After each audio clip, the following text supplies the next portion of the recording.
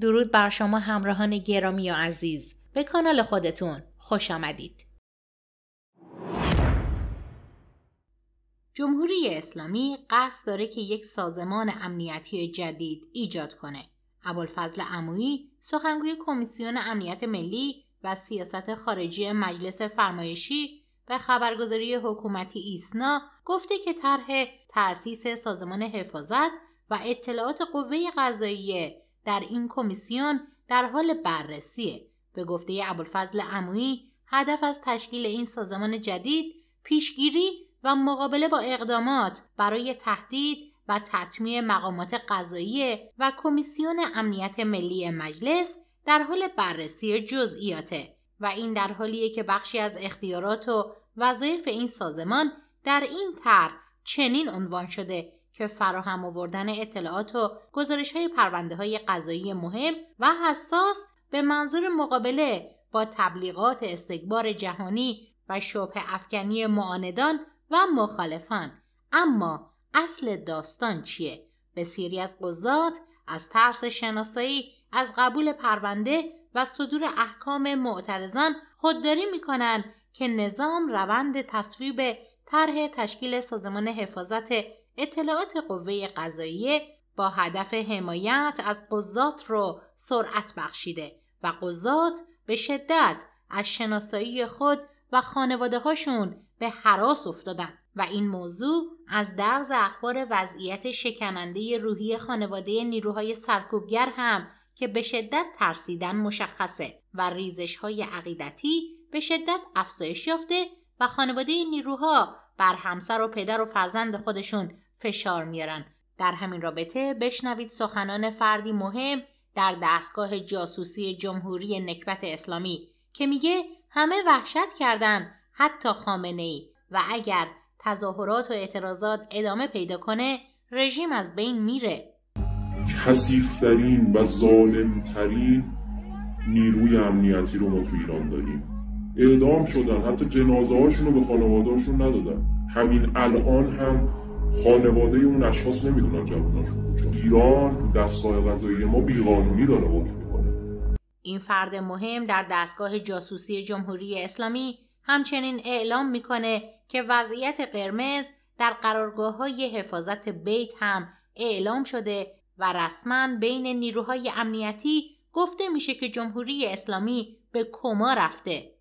خیلی از پرسنل نیروی انتظامی اونا هم نتونستن تحمل کنن. گفتن آقا ما نمی‌خوایم تحمل کنیم.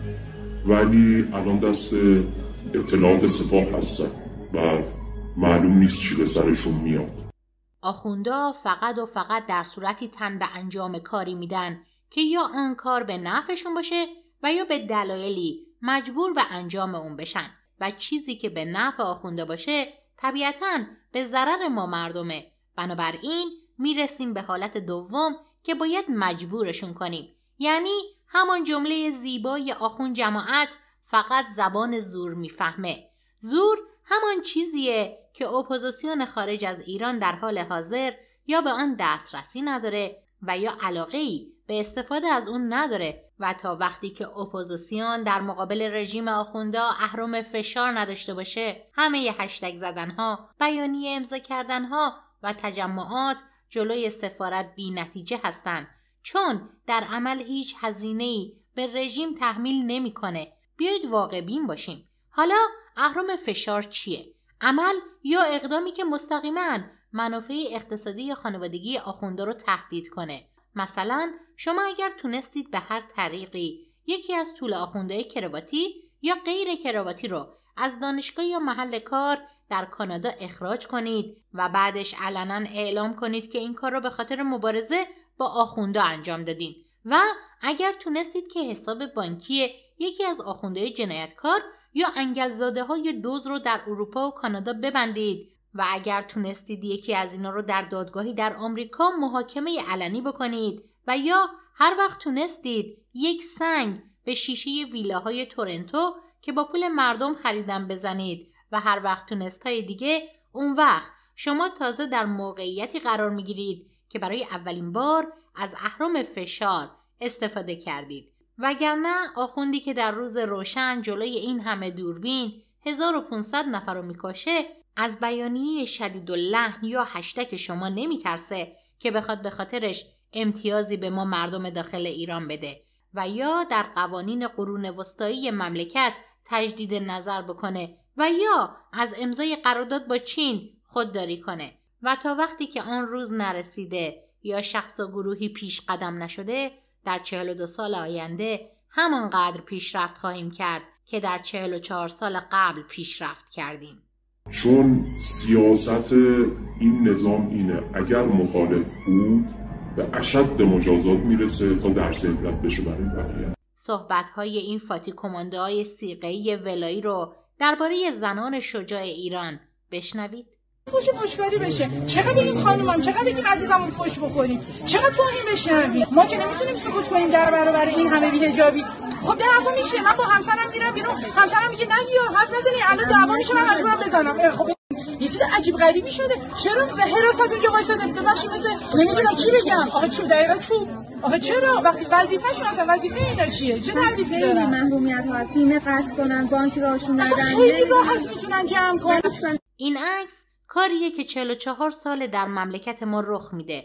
اصولگرا تناب اعدام رو به گردن ملت میندازه و اصلاح طلب از اون پشت تناب رو می‌کشه و سپاه هم از این دو جریان خبیس با اسلحه پشتیبانی می‌کنه. و حالا بشنوید که معاون پارلمانی رئیسی میگه چون احمدی نژاد خوب کار می‌کرد آمریکا و اسرائیل و عرب جنبش سبز رو علیه دولت او راه انداختن. الان هم چون دولت رئیسی عالی کار می‌کنه دشمنان این سونامی حرکت اعتراضی رو علیه او به راه انداختن. اینطور که بارها اعلام کردم من به صورت مستقل وارد میدان شدم. از همه گروه ها تشکل ها احزاب جان کلام این که حق ما این نیست که بیوقفه دنبال یک لقمه نان دوندگی کنیم و به هیچ جا نرسیم. حق ما این نیست که در یکی از ثروتمندترین کشورهای زمین زندگی کنیم و از بدیهی ترین امکانات زندگی سالم محروم باشیم. ما نباید اکنون حسرت زندگی مردم ممالک پیشرفته رو بخوریم و در صدد پناهنده شدن به آن کشورها باشیم. ما رو از همان جایی زمین زدن که نقطه ضعف داشتیم.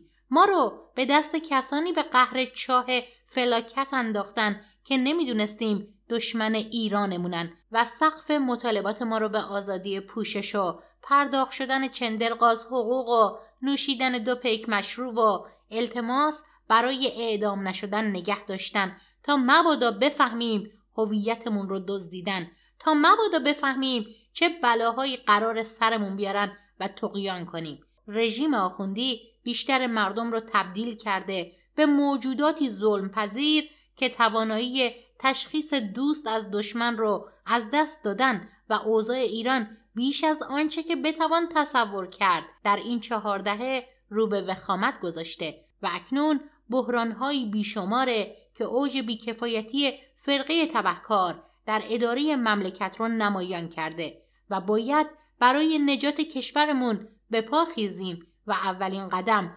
آگاه شدنه و سپس حرکت هوشمندانه و تردیدی نیست که رژیم جهل و جنایت جمهوری نکبت اسلامی به زبالدان تاریخ خواهد پیوست. اما زمان وقوع این امر مهم رو ما ملت ایران تعیین خواهیم کرد. به امید پیروزی نور بر تاریکی پاینده ایران جاوید شاه تا ابد. ببینید من خود حکومت بودم. حکومت به شدت ترسیده. خود شخص رهبری به شدت ترسیده. اگر این اعتراضات متداوم باشه مطمئن باشید این نظام رفتنی هستش.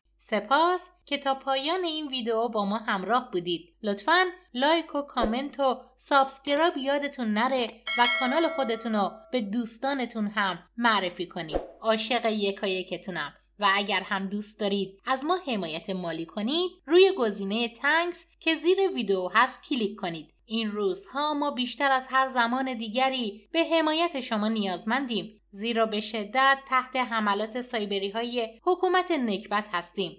ممنون از همراهی و حمایتتون.